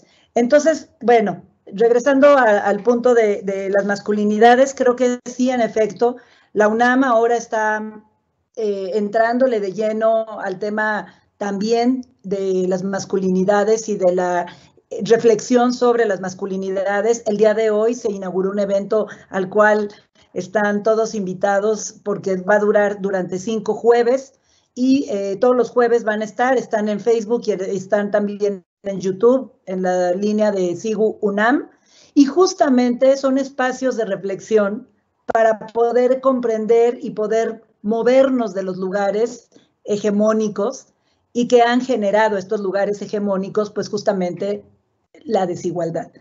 No sé si pude contestar, pero me parece que esa es una plataforma eh, importante a tomarla en cuenta y que esto además sí tiene que tener, esta es la profundidad desde mi punto de vista, de incluirlo en una ley y en un marco normativo. Por supuesto, hay muchísimas, pero ¿cómo le incluimos y cómo aterrizamos esto? Y bueno, pues son a través de distintos programas. Uno de ellos es el tema de las masculinidades, entre otros más, y por supuesto capacitación, sensibilización y transversalizar la educación con perspectiva de género. Y bueno, hasta ahí mi comentario. Muchas gracias. Bueno, este, le voy a dar la palabra a Norma y después a Erika. Creo que con eso vamos a cerrar. Nada más una cosa que tal vez ustedes pueden incorporar, Norma y Erika. Hay una pregunta que dice que si se debe promover convocatorias, por ejemplo, de fondos exclusivas para mujeres que si eso es discriminatorio o no para los hombres. Yo creo que es pertinente que se discute en este momento. Sí, eh, Norma. Muchas gracias. Yo justo iba allá. A mí me interesa mucho acentuar esto, que estamos trabajando desde hace más de 30 años por visibilizar esta desigualdad que ha habido en la posibilidad de que las mujeres participen de igual manera que los hombres en la educación superior, el posgrado, la ciencia, la tecnología y la innovación. Eh, que las masculinidades deban cambiar, claro que sí, pero ese es otro tema. A mí me parece que para, para, para lo que estamos en la mesa de hoy, que es la política de género en la ciencia, la tecnología y la innovación, es importantísimo visibilizar que durante años en el mundo y en nuestro país en particular, las mujeres no hemos alcanzado la igualdad y que para eso ya hay mucha información que claro que se tiene que actualizar, perfeccionar, hacer pública, pero los datos son los datos, no, nos está, no es una opinión de unas mujeres que estamos eh, deseando que también, sino que tenemos investigaciones muy serias que muestran cómo seguimos en desigualdad numérica. Y esa desigualdad numérica impacta no nada más en los números, en la justicia, digamos, de la paridad, sino también en las formas y en el conocimiento que se está generando. Y ahí voy a ir también a, la, segunda pregunta que ahorita hacía Olivia y que tiene que ver con algo que comentaba, me parece que Sabine y, Lucero, eh, es que no me sé sus nombres, perdón, eh, pero, pero es muy importante que existen ya desde hace, desde los noventas también en varias partes del mundo, eh, la, digamos, la, la reglamentación de que sí se analice sexo y género en las investigaciones que se hacen, no nada más en las investigaciones de salud y biomédicas, en todos los campos del conocimiento, porque eso, en primer lugar, le da otra cualidad a, los resultados de la investigación, la mejora, le da mejor excelencia, digamos, eh, le da más rigor al, conocimiento que se genera, porque es más completo, más integral que parcial, cuando nada más se ve un lado. Y, la otra cosa que se ha hecho para, justamente apoyar este tipo de, cambios es el financiamiento a los proyectos de investigación que tienen equipos de investigación en los que se incluyen mujeres y hombres, se les da financiamiento, si no, no se les da financiamiento o se apoya más a los equipos que sí tienen mujeres. Esta pregunta de si se deben hacer convocatorias, si se deben hacer financiamientos solo para mujeres, por supuesto que sí, esas se llaman medidas o acciones afirmativas, porque precisamente los datos muestran, y eso lo, lo, tenemos también evidenciado, que hay mucho menos mujeres líderes de proyectos con financiamiento porque hay muchísimos factores, se han estudiado muchísimo. Hay el, clásico, el clásico ejemplo de cuando se da un currículum sin nombre y se le pone, por ejemplo, nombre de hombre. Y cuando se analizan, las comisiones le dan el financiamiento o le dan el trabajo y cuando se le pone al mismo currículum nombre de mujer, no se lo dan. Entonces, hay muchísimo trabajo porque hay muchos sesgos de género que están eh, afectando. Lo único que yo quería con eso terminar, para no llevarme todo el tiempo, es decirles que en esta parte donde, donde, donde Sabine decía que hay regiones en el país donde hay centros más chiquitos, donde no hay universidades con eh, núcleos de humanidades que trabajamos más el tema, yo sí creo que allí, por ejemplo, las redes y los grupos de investigación como los nuestros, ah, hemos aportado mucho y podemos seguir aportando con, eh, hacemos mucho trabajo de talleres, cursos, seminarios que pueden ayudar a la reflexión en muchas de esas áreas donde no se reflexionan en estos temas. Y lo otro que quería decir es que ha llevado mucho tiempo este cambio, por eso estamos aquí, porque necesitamos tiempo para cambiar estas estructuras simbólicas de género. No es fácil cambiar el chip, no es fácil cambiar nuestra configuración y dentro de las comunidades científicas eh, también existen estos sesgos y se tienen que ir moviendo. Y por eso ahora en, esta, en estas jornadas me parece tan importante que ya se incluya esta mesa. Eh, en muchas sociedades, por ejemplo, de física, de matemáticas, ya nos invitan a hablar del tema para aquellos que preguntaban por qué no hay hombres en esta mesa, pues porque a los hombres no les interesan estos problemas más que a hombres muy sensibles porque ellos no han tenido estos problemas. Ellos sí están o no los tienen de la manera igual que nosotras, ellos sí, han, sí están en el SNI 3, ellos sí están como SNI eméritos en una mayor cantidad. No estoy diciendo que todos los hombres no tengan problemas, lo que estoy diciendo es que las mujeres no hemos tenido los mismos eh, el mismo camino que los hombres y quisiéramos que eso sucediera porque ya pasó mucho tiempo. Al principio nos decían que es que no estábamos formadas, no teníamos las credenciales necesarias. Bueno, eso ya sucedió, ya hay listas de mujeres muy buenas y sigue habiendo estos, estos digamos, sesgos, estos modelos de, de exclusión que son también como de bajo impacto, como decían, ¿no? Bueno, muchas gracias Norma. Erika, gracias por tu generosidad, pero sí, ya no me va a dar tiempo de darte la palabra. Este, yo, yo solo quiero eh, cerrar diciendo que, bueno, me, no saben el gusto que me ha dado moderar esta excelente mesa. Y quiero cerrar nada más con un tema. Yo no, yo en mi investigación me dedico al tema del racismo, eh, que es una de las formas, eh, digamos, de estructurales de creación de poderes desiguales y de desigualdades. Y nosotros obviamente tenemos que estudiar, para entender bien este fenómeno en particular, tenemos que estudiar muchas de las formas estas estructurales, como paraguas estructurales, eh, que crean desigualdades profundas, brechas profundas y relaciones desiguales frente al poder también.